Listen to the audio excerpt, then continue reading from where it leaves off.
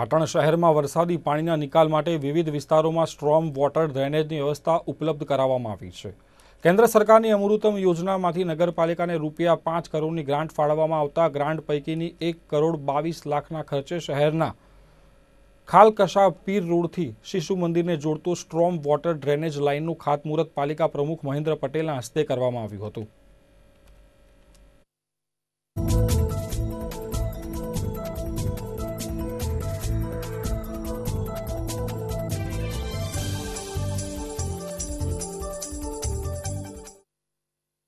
સરકારની અમૃત યોજનાની પાંચ કરોડની ગ્રાન્ટમાંથી શહેરના જુદા જુદા વિસ્તારોમાં સ્ટ્રોંગ વોટર ડ્રેનેજ નાખવાનું વરસાદી પાણીના નિકાલ માટેનું કામ મંજૂર